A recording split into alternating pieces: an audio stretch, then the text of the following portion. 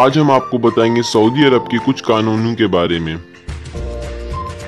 दोस्तों, मक्का और मदीना इस्लाम की दो सबसे पवित्र जगह हैं जो सऊदी अरब में स्थित हैं। सऊदी अरब रेत, तेल शेख इसके अलावा अपने अजीब गरीब कानूनों के लिए पूरे विश्व भर में प्रसिद्ध है। दोस्तों, सऊदी अरब मध्य पूर्व में स्थित एक सुन्नी मुस्लिम देश है जो कि कुल इक्कीस लाख उनचालीस हज़ार छह सौ नब्बे वर्ग किलोमीटर में फैला है। इसकी राजधानी रियाद सिटी है। आज के समय में सऊदी अरब एक बहुत ही धनी और विकसित देश है। सऊदी अरब में आज के समय 30 लाख से भी अधिक भारतीय काम करते हैं। सऊदी अरब में खलीफा तंत्र अभी भी लागू है। सऊदी अरब में औरतों को नकाब और हिजाब पहनकर रहना पड़ता है और यहाँ औरतों की आज़ादी बिल्कुल ही सीमित है। जैसे लड़कियाँ ना तो अकेले घर से बाहर जा सकती हैं और ना तो किसी गैर मर्द से बात कर सकती हैं। और अगर महिलाओं को कहीं बाहर जाना हो तो उनके साथ परिवार का एक पुरुष होना ज़रूरी है। इसके अलावा सऊदी अरब में औरतें जहाज़ तो उड़ा सकती हैं, लेकिन गाड़ी नहीं चला सकती। सऊदी अरब में महिलाएँ पति की इजाज़त के बिना अपना बैंक अकाउंट तक नहीं खुलवा सकती। सऊदी अरब में महिलाओं की शिक्षा पर बहुत कम ज़ोर दिया जाता है। सऊदी अरब में अगर कोई चोरी करते हुए पकड़ा जाता है तो उसके हाथ को काट कर अलग करने की सज़ा तय की गई है, और ये सज़ा बहुत ही पुरानी है। सऊदी अरब में अगर कोई किसी की संपत्ति को नुकसान पहुंचाते हुए पकड़ा जाता है तो उसे सीधे मौत की सज़ा सुना दी जाती है। सऊदी अरब में अगर कोई बड़ा जुर्म, जैसे कि मर्डर या रॉबरी करते हुए पकड़ा जाता है तो उसे भरी भीड़ के सामने उसका सर कलम कर कर धड़ से अलग कर दिया जाता है। और ये रिवायत सऊदी अरब में बहुत ही पुरानी है। सऊदी अरब में लड़का लड़की हाथ पकड़कर घूम नहीं सकते।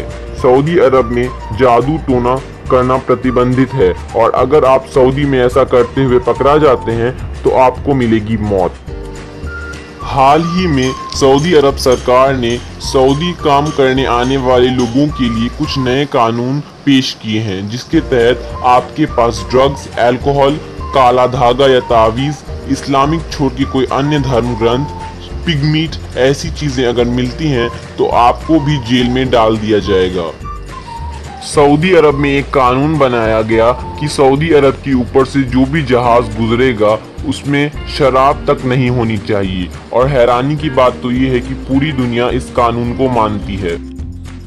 सऊदी अरब में किसी भी इस्लामिक चीज़ों में डिस्टर्ब करना और किसी भी अन्य धर्म का प्रचार करना कानूनी अपराध है। और अगर कोई ऐसा करते हुए पकड़ा जाता है तो उसे मौत की सजा सुनाई जाती है। सऊदी अरब में बिना किसी की इजाज़त के आप किसी का फ़ोटो नहीं ले सकते। इनमें खासकर महिलाओं का और सरकारी बिल्डिंग सरकारी ऑफ़िस या फिर सरकारी कर्मचारी का फ़ोटो लेने पर आपको जेल तक में डाला जा सकता है। सऊदी अरब में गाना बजाना डांस करना और पिक्चर देखना कानूनी अपराध है और सऊदी अरब के ज़्यादातर लोग बहरीन और ओमान जैसे देश में सिर्फ़ और सिर्फ़ फ़िल्म देखने जाते हैं। सऊदी अरब में आप इस्लाम धर्म के बारे में कुछ भी गलत नहीं बता सकते। ऐसा करने पर आपको मौत तक की सजा सुनाई जा सकती है। चाहे आप कोई भी हो और कहीं से भी आए हो, आप पर ये कानून लागू है। सऊदी अरब में मुसलमान छोड़कर अन्य धर्म के लोग यहाँ के बाशिंदा नहीं हो सकते और सऊदी अरब में किसी भी गैर मुस्लिम को दफनाया नहीं जाता।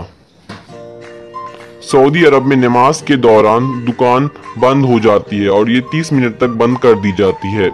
तो दोस्तों, आपको हमारी ये वीडियो कैसी लगी? अगर अच्छी लगी तो सब्सक्राइब कीजिए और अगर अच्छी नहीं लगी तो कमेंट में लिखकर बताइए। तो फिर मिलेंगे एक नई वीडियो के साथ। तब तक के लिए नमस्कार।